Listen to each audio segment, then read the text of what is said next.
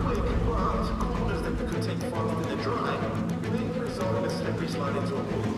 that's why we I announce the winners for race